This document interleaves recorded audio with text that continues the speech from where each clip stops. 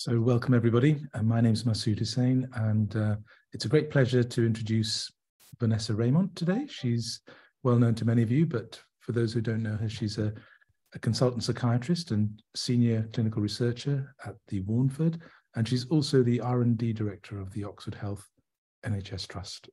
Uh, and Vanessa, in her capacities, is associate director of DP UK, Dementia Platforms UK, and the NIHR Dementia and Mental Health Lead for the Thames Valley and South Midlands Clinical Research Network. And today she's going to be telling us about the Deep and Frequent Phenotyping Study, which is a, an important initiative, a national initiative, and uh, how that overlaps with the new dementia mission. Vanessa. Thank you very much, Masud, and thanks for that introduction. So, uh, as you said, I'm going to give you a little bit of update of where things are with the deep and frequent phenotyping study. Uh, people who work in Oxford may have heard of this study um, over the last few years, uh, and I'll explain why this has been around for so long, but why the need is still so very great, and actually how this overlaps with some of the aims of the new dementia mission. And also, I'm going to touch a little bit on how this feeds into uh, really exciting developments in clinical services that are happening at the moment. Uh, I'm just having problems moving my slides on, so I'm going to stop sharing for just one moment. Unfortunately, I've had this problem before with Zoom, so apologies, and I'm going to try and do this again. Okay, so these curves, Jack curves, everyone will be very familiar with, I'm sure, which represent the fact that we know that in the preclinical and prodromal phases of Alzheimer's disease, so this is when people are cognitively normal and they're going through the phase of mild cognitive impairment, there's actually an awful go lot going on in, in terms of brain structure uh, that we would not easily detect uh, in terms of things like memory tests. And if we're going to think about uh, developing disease modifying drugs, the likelihood is that we need to be aiming at the primary prevention stage uh, or possibly ultimately in the primary prevention stage. And in order to identify people who are going to benefit from those drugs, um, we're going to have to find better ways of um, uh, picking up those early biomarker changes. What that means, of course, is if you're going to have to identify people earlier in that clinical pathway, is you've got to uh, screen potentially much larger numbers. You've got to really deeply and accurately phenotype them. Um, and you've got to understand the biology and the trajectory of that early disease much more effectively and develop modeling strategies to understand that. And then ultimately also communicate this to patients in the public. If people are going to take these disease modifying drugs earlier, they need to understand why their level of risk has been identified and what could be done to manage that. So why do we need deep and frequent phenotyping? So I've, I've, already highlighted one point, which is that we need better biomarkers, more efficient biomarkers to identify those early target pathologies, and that the drugs uh, that we're developing for disease modification are most likely to be effective in the early stages of the disease.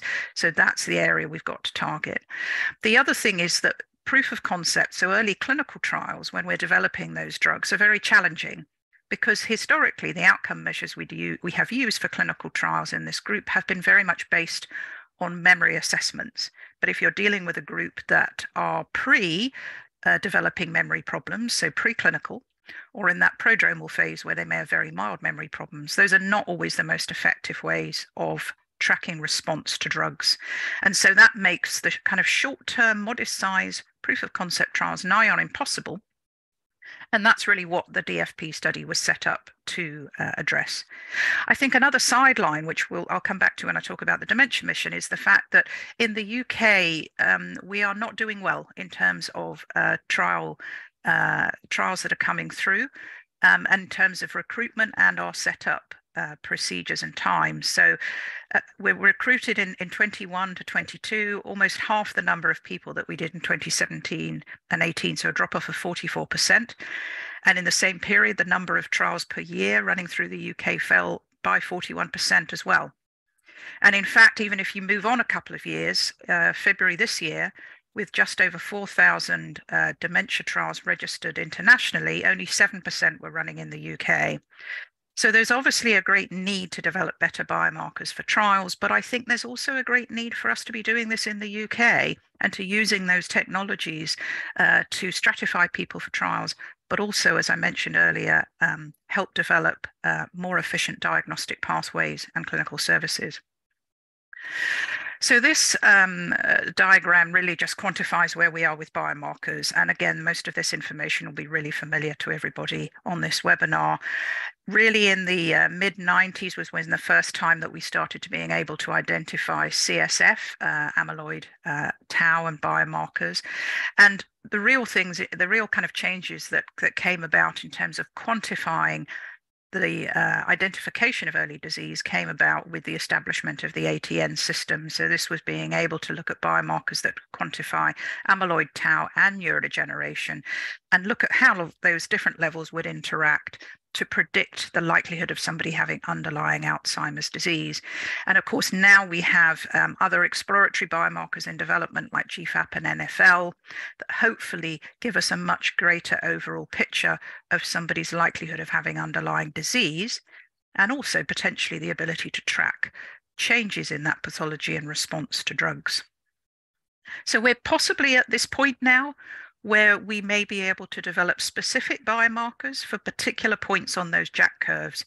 So if we're looking at changes in amyloid, for instance, if we're looking at changes in tau and other areas of pathology like neurodegeneration, uh, sorry, inflammation, there may be particular biomarkers that we can now target at these specific changes. So where are we with biomarkers overall? So uh, PET and CSF still are the main mainstay of biomarkers that we use in trials. There are now three amyloid tra uh, tracers available uh, in the UK, Europe, and the US, including um, appropriate use criteria for clinical uh, diagnosis. Um, Obviously, tau tracers have also been developed over the last few years and seem to correlate really well with cognitive and functional outcomes. And tau tracers have now, tau tracer has now been approved in the US for imaging to diagnose cognitive impairment. And these may be very useful, particularly for monitoring that progression of disease and response to disease modifying drugs. In terms of CSF, we know that beta amyloid 4240 seems to be highly concordant with PET uh, data, and it may be that amyloid abnormalities detected in the CSF um, are particularly useful at identifying earlier disease. Again, we have appropriate use criteria for clinical use, and certainly the FDA and the EMA have encouraged further study of CSF biomarkers. However, I think the real game changer in terms of both uh, the, trying to make those proof of concept trials more achievable and what can feed into clinical services is blood biomarkers. And the huge benefit of that is obviously accessibility. And it does seem that plasma beta amyloid 4240 does reflect levels within PET. And more recently, uh, the development of various plasma uh, tau assay, assays seem to suggest that these may be very useful for screening, predicting risk, and tracking progression and monitoring treatment response.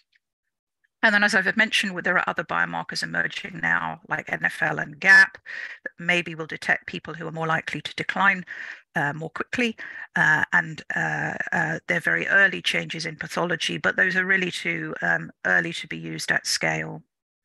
Another thing to bear in mind, though, apart from the kind of mainstream biomarkers, is that we know there are very large numbers of people who have comorbid pathologies, such as vascular disease. And we don't really have good biomarkers that we're using at scale at the moment to detect vascular lesions um, or, or uh, alpha synuclein and other misfolded proteins. The other thing is a lack of more real world data. So we're definitely lacking data around biomarkers in the over 85s actually probably in the at-risk middle-aged, so those people that are not in clinical services at the moment but may well be at risk of developing clinical disease, and more diverse underrepresented populations. I think another thing to mention when we talk about biomarkers is digital technology. And again, this is a growing area. We're recognizing that digital technology may be really helpful with early detection and again, tracking progress and monitoring response. And from a clinical perspective, may give us a really useful feedback loop to clinics. Digital technologies uh, have the possibility of being quite non intrusive and that you could test people at home. Which definitely could mean uh, greater ecological validity and allow us to access people that wouldn't normally come to sites and clinics to do trials. But obviously, when you're talking about digital devices, devices, there are huge issues, or there can be huge issues in terms of data sharing, privacy, um, how accessible they are, how reliable they are for uh, participants to use, and costs. I'm not going to go into the detail on this slide, but it really just summarizes where we are in terms of the AT and N biomarkers and also these additional X biomarkers that are under exploration and where they may be used in terms of diagnosis, prognosis, and monitoring. The bottom box really highlights a lot of the pros and cons, which I've kind of already touched on, which is obviously for PET, particularly, there is an access issue, there's a cost issue, um, there's a radioactivity um, uh, exposure issue. Um, so for CSF and blood, you don't get the same localization data. Uh, and there could be issues in terms of how samples are stored and collected. But I think the way forward for us to deliver um, efficient proof of concept trials will be very much focused on blood and other novel biomarkers. So I'm now going to come on and actually talk about the DFP study. So as I said, this was established because of those because of a lack of viable outcome measures for use in these early trials. And there's obviously an awful lot of other studies that have and are doing this um, in terms of deep and frequent phenotyping. But I think DFP still probably has a set of biomarkers that are being assessed more frequently and more in a in a, um, a, a larger number of biomarkers than other studies. And so the aims of the study are to identify an optimal set of markers, both for stratification and selection into trials, and to identify markers that are suitable for target engagement uh, and tracking. Uh, as a sideline, I think DFP will still create probably the largest single cohort of very well characterized prodromal AD participants and provide a platform for those biosamples to be used for further research. It's supported by the MRC and NIHR. A pilot study ran from 2014 to 16, and the main study started in 2019, and it is supported by DP UK. And again, just to clarify the objectives of the main study, it's to identify a set of markers that tracks disease, but also predicts disease change in people with this very early um, Alzheimer's disease. So, what did the pilot study do? So, the pilot study was there given the breadth of assessments and the frequency of assessments we were anticipating people doing. We did a pilot study which accept, uh, assessed the feasibility and acceptability of doing this range of assessments with participants, and also the practicality, the logistics of whether we could deliver this. Uh, the pilot study was uh, included assessments over six months across six centres, and there were predetermined criteria for feasibility success which was implementation of all 10 phenotypic measures with a greater than 80% completion rate. And 32 participants were screened to come into this uh, pilot study. And on top of there was there was a more qualitative angle, which looked at acceptability for the participants, which included questionnaires, a focus group, and follow-up interviews with, with the Alzheimer's Society. And we were able to uh, collect this acceptability data in 91% of people who came through, and they were asked about the level of comfort of doing these various assessments and would they be willing to enter a similar study in the future. The positive thing was that there was a really high degree of acceptability on all measures, and overall, participants reported their experience as good or excellent, including the uh, CSF testing, which is obviously always a concern uh, for people coming through trials. And the focus group was useful as it gave us some specific recommendations for the main study, such as shortening the length of the PET scan. And this diagram just shows you exactly what uh, what was completed in terms of the different modalities. And you can see the kind of orange and yellow bars are the areas that were either declined or incomplete. Um, and you can see the areas that probably struggled the most to get uh, their assessments completed were CSF and PET, but still we were able to hit um, uh, the 80, 80% mark overall. So again, just to confirm for the main study, this is now a multi-center repeated measure study uh, in prodromal Alzheimer's disease and early preclinical and preclinical disease uh, using established and novel biomarkers to establish a set for measuring outcome in proof of concept trials. In order to make this as efficient as possible, we're recruiting by and large through existing parent cohorts, although we are reaching out through social media um, and uh, clinics to a certain extent, although we particularly don't want to be recruiting people who have a well established uh, clinical diagnosis at this point. And the study's recruiting uh, men and women aged over 60. Um, uh, and they either have um, uh, an absence of AD pathology or have AD pathology and are recruited in a four to one ratio accordingly. So the participation recruitment is done via screening funnel. So the first step is if we have previous uh, cognitive data on these people because they're in existing cohorts, we invite people with subclinical impairment, so that's one to one and a half standard deviations below the mean on a cognitive test. We then ask everybody to do an online cognitive test, which is the paired associates, associates learning task. And we've picked that because it's very hippocampal dependent. It declines in Alzheimer's disease and seems to predict conversion from mild cognitive impairment to dementia. So enrollment is based on uh, performance uh, on the on the paired associates learning task, again at one and a half to one standard deviations below the mean um, for people who are in the uh, patient group, um, and half to one standard deviation below the mean for people who have no apparent impairment, again in a four to one ratio. When people are enrolled, they then go into a screening uh, assessment where their ApoE status is established. And again, we use that to enrich the cohort so that they are invited to a second screening where their amyloid positivity is assessed. And again, that is another step in the funnel where people are, uh, are, are recruited on a four to one ratio. So this is what that actually looks like. It's quite a complicated um, screening procedure. So we identify people over 60. Um, they go through this pre screen call into their screening visit. Um, where we will uh, assess their cognitive um, uh, um, status. They then go in for ApoE screening and subsequently uh, for amyloid screening. And you can see the various stages at which that four to one ratio kicks in. And this is what it looks like for people who come from existing cohorts. So our main source of recruitment to date has been UK Biobank, and they send invites out to people um, based on their age uh, and purely are they accessible to a DFP centre. So we don't do any pre-screening above that. And then they come via um, uh, uh, the same pathway as, as the previous uh, slide. So these is the range of assessments we're doing in the DFP study. So we have molecular assessments, CSF, blood, urine, saliva, tear, um, uh, sample collection, imaging, both PET and MR. We're doing MEG and EEG, ophthalmology, a cognitive battery, range of wearable and device assessments, and um, collection of biosamples to established um, iPSC lines. And the visits are very frequent. They're every two months, over a year. And you can see the sites here that we initially identified. Unfortunately, we haven't been able to progress with the Newcastle site as they were really struggling to get some of these assessments off the ground. And we're in the process now of setting up uh, the King's site.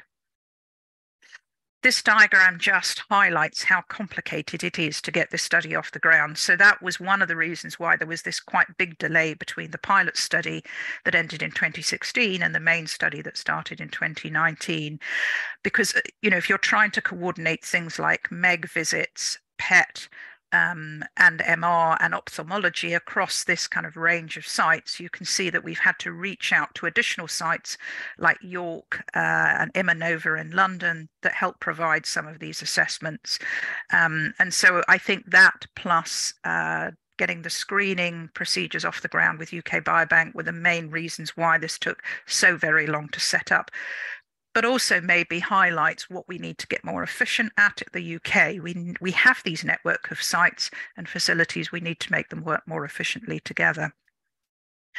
This is what the assessment schedule looks like. I'm not going to go through this. This is a really complicated slide, but again, you can just see the complexity of visits that have to be coordinated across multiple sites. And you can see that all of the visits are occurring pretty much on a, a, a two monthly basis throughout the 12 months.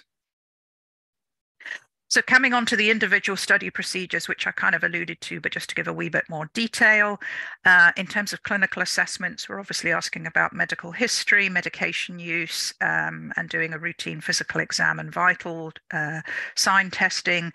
Uh, we do a range of assessments around cognition that are used clinically, like the CDR, the MMSE, um, uh, an ADL test, um, and uh, self-reported scales looking at depression, anxiety, and sleep.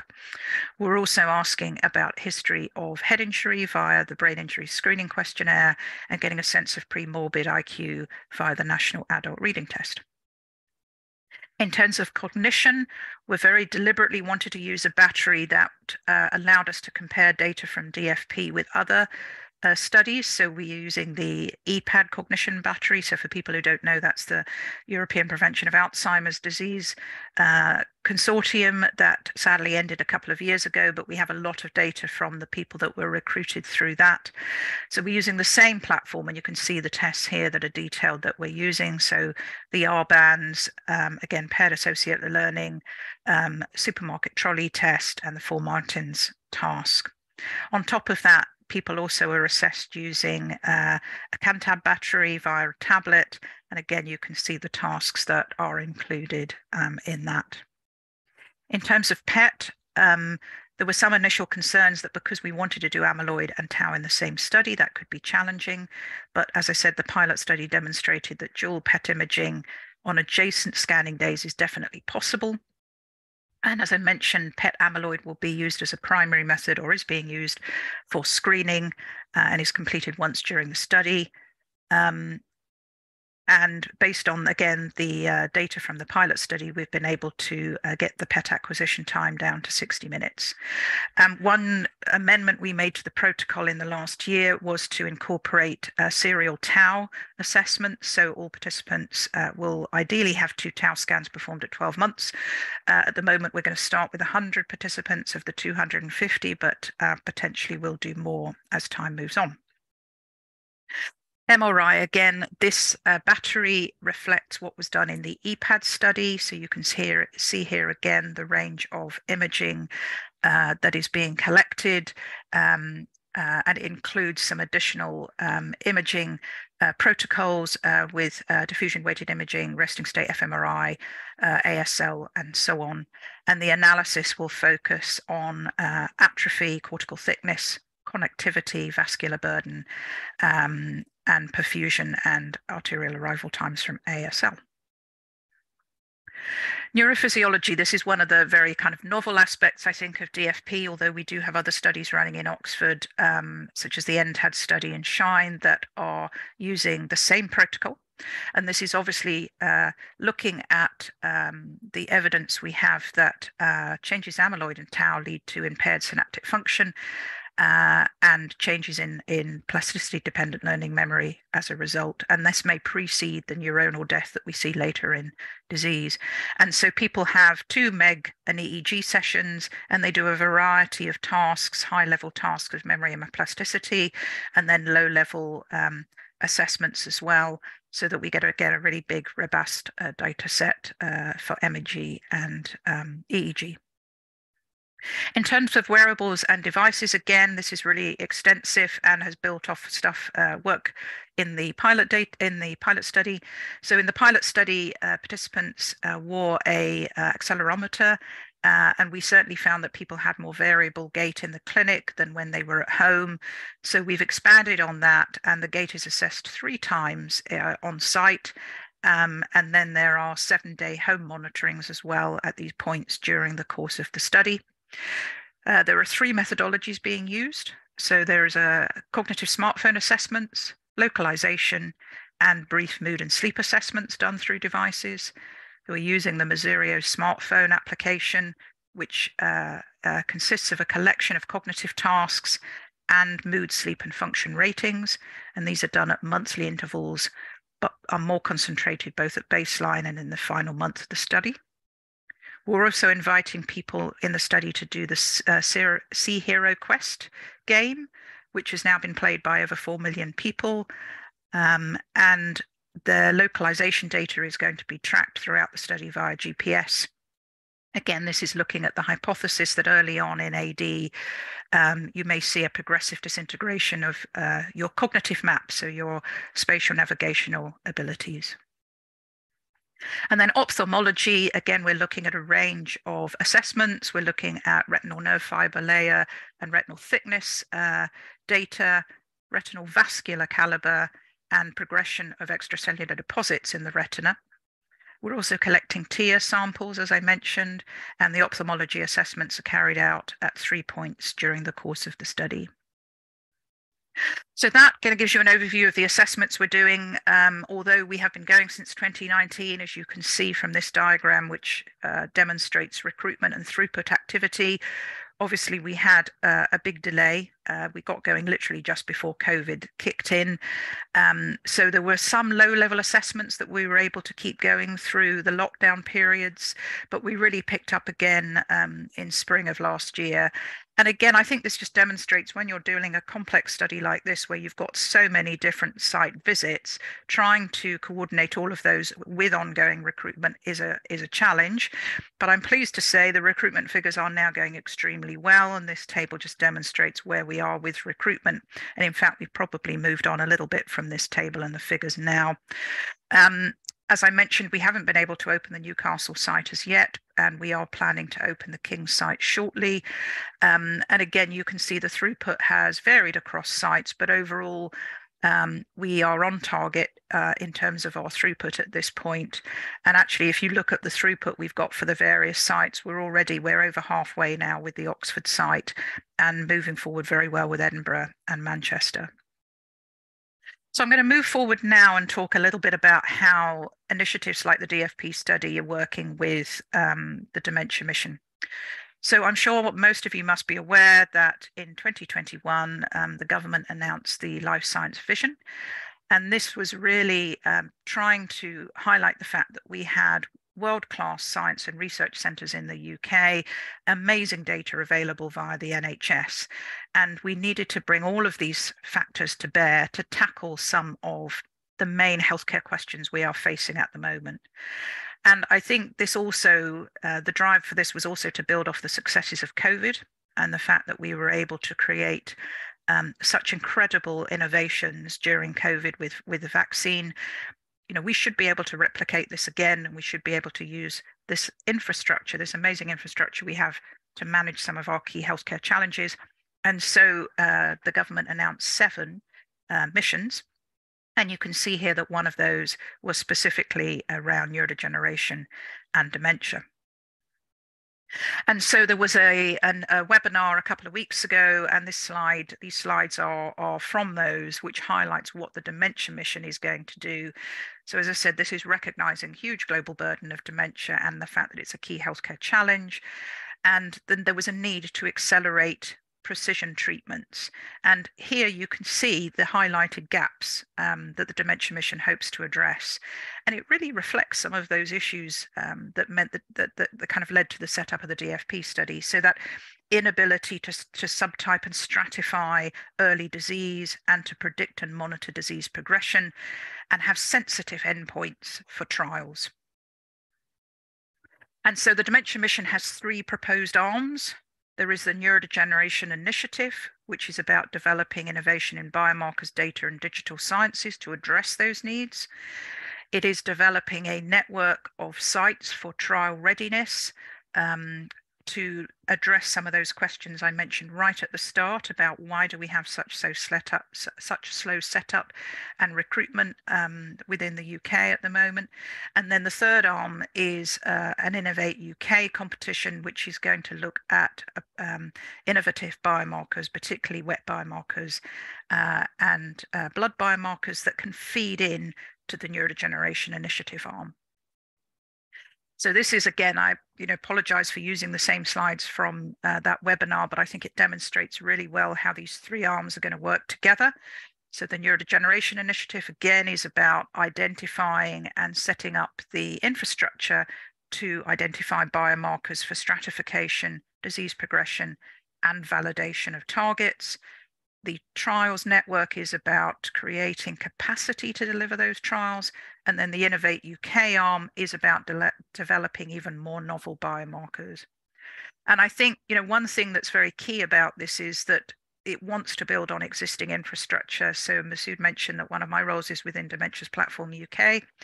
And I lead on a, something called the Trials Delivery Framework, which has tried to set up a network of existing sites. And we have got a lot of sites, got 20 sites on board, but I think there's a lot more that we can be doing. And this slide just demonstrates, and I'm not going to expect you to read all of the details of this, how something like the Trial Delivery Framework, the TDF, could work with this DTRC, um, DTRC network and I think we have to start getting more creative about how and when we do these assessments. And I think as digital and blood uh, based biomarkers are becoming more feasible, uh, we can use those as a real way of identifying people uh, very early on in, uh, to, that may be suitable for trials. And then you create again a kind of funnel where you gradually have levels of confirmatory biomarkers depending on uh, how well you, you need to phenotype people for individual trials. So overall, the objectives of the neurodegeneration initiative, so this is the arm of the dementia mission that's about delivering those biomarkers, is to uh, is to address these key issues, which is this inability to uh, subtype disease and stratify for trials, lack of sensitive endpoints, and lack of predictive biomarkers. And they've been very clear that um, in terms of which diseases this will focus on, it's quite agnostic. So initial focus on Alzheimer's disease, but with a move to uh, other forms of dementia as well. And in terms of um, biomarkers, again, they're very open to exploring new biomarkers and their utility for trials.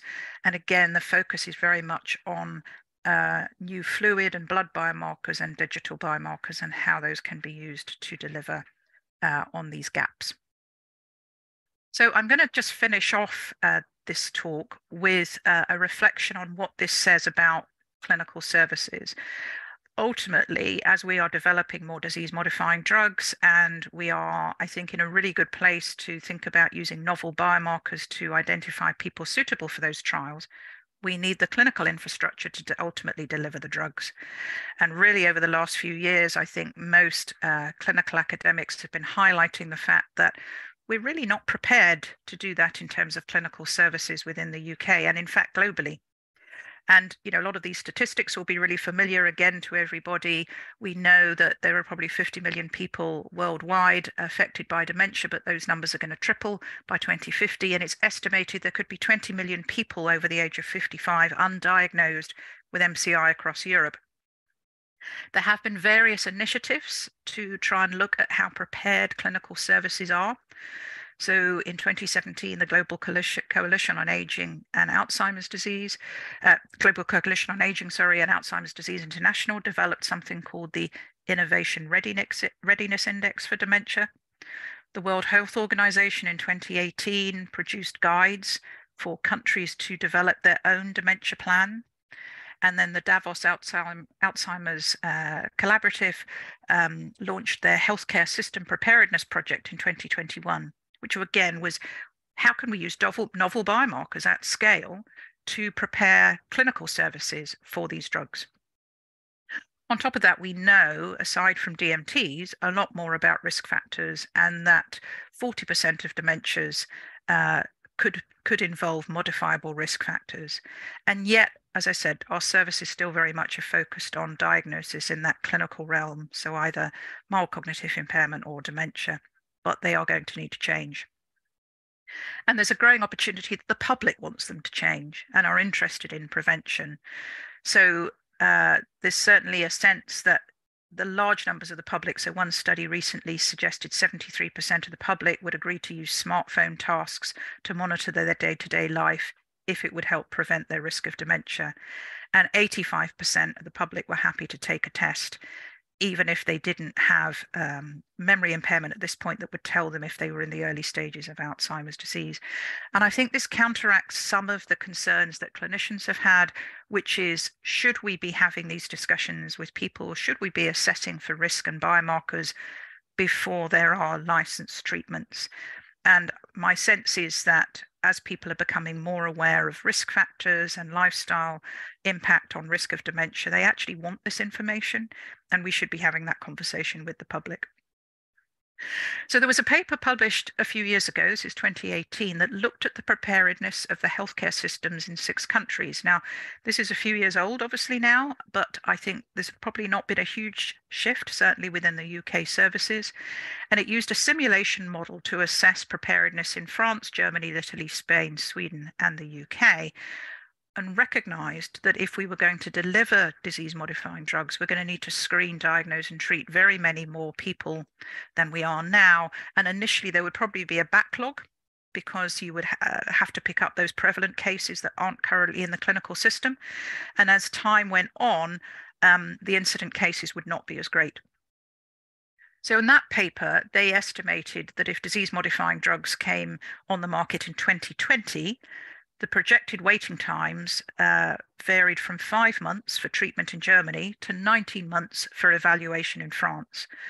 And the first time that these individual countries would potentially have no waiting lists are here. And you can see the UK was 2042. So 22 years after the drugs hit the market, um, that's how long it may take us to have uh, services set up that actually work um, to deliver these drugs efficiently. And not surprisingly, one of the, the main rate limiting steps is specialist capacity. So whether people can do biomarkers, interpret biomarkers, but also whether they can deliver the drugs. So mindful of the fact that at the moment DMTs that we have running through trials are either delivered intravenously um, or subcutaneously. Um, some are delivered intrathecally. These are not uh, drugs that are going to be delivered um, orally as things stand. So we need to have an infrastructure to deliver them as well. And what that would mean is while you had this 20 years on a waiting list, 1 million more people could progress from MCI to dementia. And when people have looked at data in other countries, it looks very similar. So one one uh, statistic that was quoted was that there could be 15 million people with mild cognitive impairment in the US that have not been diagnosed, and that would equate to 50 months of wait within the US.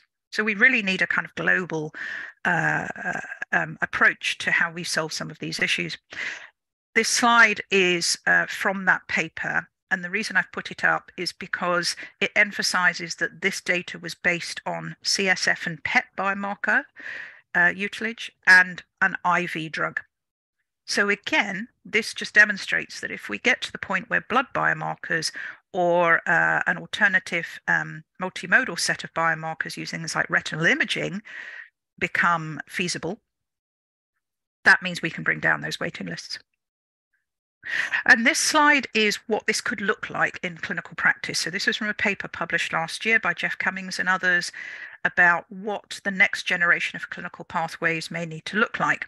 And again, it's a really busy slide. So just to talk you through it, on the top hand uh, top of the slide, you can see the kind of steps that people would go through in terms of how they would be detected, maybe with a an early cognitive screening test in the community, and then they would be passed on for further clinical assessment and biomarker confirmation. And then they would obviously need to be followed up post treatment to monitor for treatment response, disease progression, and also side effects, um, uh, as we know, could be a big issue for disease modifying drugs, issues like ARIA. The bottom hand of the slide emphasizes how these novel biomarkers could really help. So, blood based biomarkers and particularly digital technology could make a lot of these assessments much easier. And particularly if you start thinking about that range of digital technologies from the in clinic through to the active at home assessments, through to the passive assessments, these could really help um, with some of the stages uh, of, of, service development. But there are obvious challenges. Um, at the moment, the coverage and focus of service is very limited. So most people who come through memory clinics in the UK uh, will go to a memory clinic in a mental health trust. And at this point, we do not do any biomarkers at all, and we wouldn't even routinely collect, uh, take blood. So even to uh, institute blood-based biomarkers is going to be a massive change. And as I said, that includes uh, a challenge for DMT delivery if this is going to be um, via some form of infusion. And you know, even if countries outside of the UK and within the UK can absorb this increased service demand, it's going to be a challenge for them to be incentivized to scale up. And there's obviously a capacity and capability issue for clinicians. And I think because we're going to be need to be identifying people earlier on, earlier on in the clinical pathway, primary care may become a critical entry point. Again, I don't think I can overemphasize how important I think digital devices and blood biomarkers can be, both for early detection and ongoing monitoring. And uh, there's certainly been evidence from the literature that even a brief cognitive test plus a blood based biomarker in primary care actually improves triaging and reduce waiting times to see specialists in current services as they are we need to have more prognostic information to understand those early trajectories. And there are projects going on in, in countries like Italy that are gathering systematic information from people with MCI as they go through their clinical pathway. I think one of the problems we face in the UK is that for most memory clinics, we don't follow people up who are in that prodromal MCI stage. So we really lack some of that real world data uh, to understand some of the disparities between ethnic groups, different socioeconomic groups, and so on. And ultimately, if we're going to use things like digital devices to look at uh, progression and response, I think telehealth platforms could be essential and again could provide the ability to have coordinated care between the patient and their care partners, whether they be in secondary or primary care. So, what next for the UK? Well, some of you may be aware that there is a growing network of something called brain health clinics across the UK, and these were really set up to address some of these issues. So, how can we uh, how can we uh, more accurately diagnose people earlier in the clinical pathway? How can we help them with risk management? How can we support this underserved group that we don't currently follow up in most services? And how do we align these clinical assessments with the needs for precision recruitment into trials. And this is a network of sites as it stands. I think there's probably a couple more on the top of this network at the moment. And they have just formed into something called the Brain Health Coalition uh, with a view of um, uh, trying to develop a national strategy for uh, these services and how do we start to promote them more widely? Because at the moment most of these services are set up uh, in individual research teams with limited funding and limited capability to to scale up across uh, the UK and uh, just in the last month there was a paper published around dementia prevention um, and how the U- European Task Force for Brain Health Services envisaged these services should ramp out. You can see on the top right that they have highlighted in this paper what the task force feels the main pillars of brain health services needs to be and that is about risk assessment but also risk communication that's something i haven't talked about and i think again if we're going to be identifying people with earlier disease whether that be for efficient diagnosis or recruitment into trials, uh, we need to uh, think carefully how we're going to communicate that early risk, personalized prevention, and then cognitive enhancement. So, whether that be through disease modifying drugs, symptomatic drugs, um, or other interventions. And you can see in terms of timelines, um, they're suggesting that probably around 2025 is when we will start to see large scale clinical deployment of these types of services with a move into the more general population and low middle income countries probably around 2030. So, my final messages at the end of this webinar really are that biomarkers and changes around biomarkers, I think, are creating massive opportunities for early proof of concept trials, but also to drive these novel clinical pathways. And I think the Dementia Mission is an opportunity for us to support biomarker development and to think, as I said, what how these can be utilized both for trial stratification, but also clinical diagnosis. I think things like blood-based biomarkers and digital technology really provide opportunities for uh, scrutinizing uh, mechanistic um, causes uh, and, and teasing apart causative factors from early markers of disease, but also investigating um, risk factors more widely. So there's a lot of recently identified risk factors like sleep, sensory loss, air pollution, microbiome, and mitochondrial dysfunction that we don't really understand uh, in terms of their impact on the trajectory of disease. And as I mentioned, we, we lack a lot of real world data around underrepresented groups and how things like social factors and built environments maybe affect people's risk of disease and risk of pro- progression. And I think the the massive access- accessibility of blood-based biomarkers, and also potentially, as I said, some of the biomarkers the DFP study is is looking at, like retinal imaging, which could be incredibly accessible, could really help us understand uh, those much better.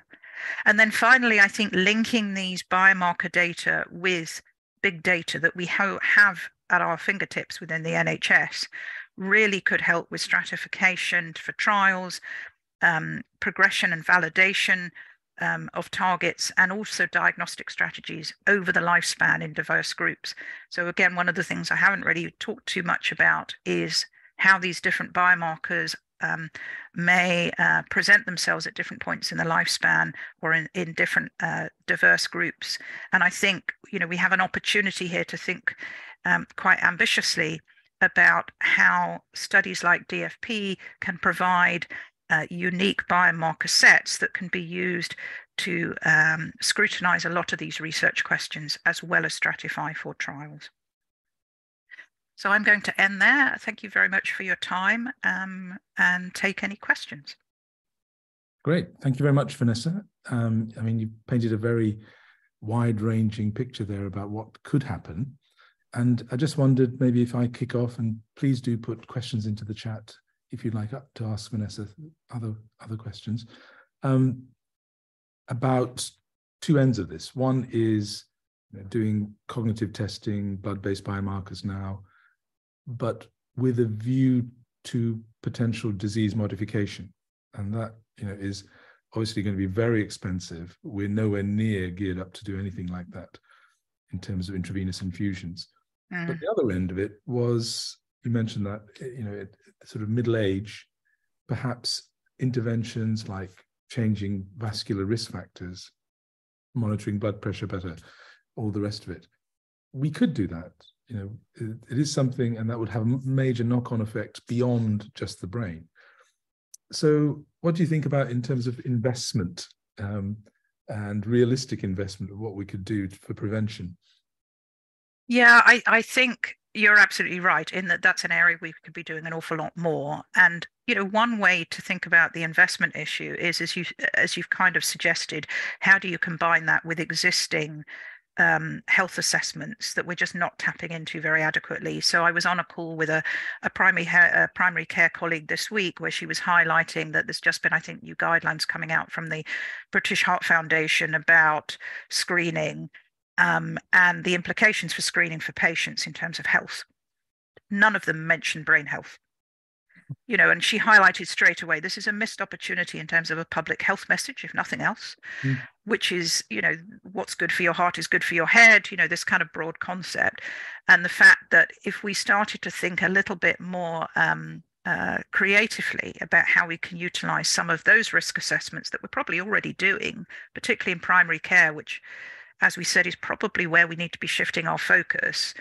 Um, we could already be picking up a lot of people with these these key risk factors for dementia and potentially managing them. And I know that's two big issues. You know, one is identifying people. Yeah. The second is what you do about it. But I think the identification, we're probably doing a lot of that. It's just about extrapolating that and thinking what what data can we use for brain health that we're already collecting around cardiovascular risk, frailty, whatever. The managing, I think, is a big issue. I know I've been involved with some work where people are looking at things like social prescribing. You know, how do you, if you identify a risk factor, how do you help an individual manage that?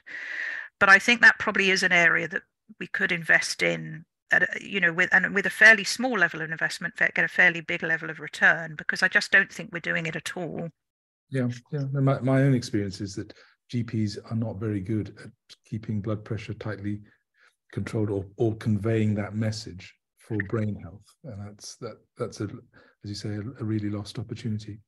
and I think it's about unifying things because I think this is it. If we get if you try yeah. and get GPs to do endless. Uh, uh, you know, um, management of different aspects and kind of messages about health on different topics, stuff will drop off the radar. It's about unifying some of this approaches. Yeah, I mean, it's already something they're all, they're supposed to be doing. It's just simply conveying the message that it might also have an impact on dementia risk. Indeed. We've got a, we've got a couple of other questions here from Garmun Yap, and they ask, can you explain a bit more about telehealth? What, what are you thinking there? Yeah, I think um, digital platforms are becoming a big area of interest, I think, at the moment. We're recognizing that digital technology presents a real opportunity to uh, give us data around cognitive assessments. As I said, a lot of these could be much more um, accurate if you're able to assess people in their own home, for instance, where they may be much more comfortable. Um, so it's really about extrapolating that and saying you could create a platform, whether it's sit on a phone app or a web-based app or something of that sort, where people can do um, ongoing cognitive assessments, assessments of their mood, assessments of their sleep. Um, maybe data is collected from passive digital devices around gait and so on.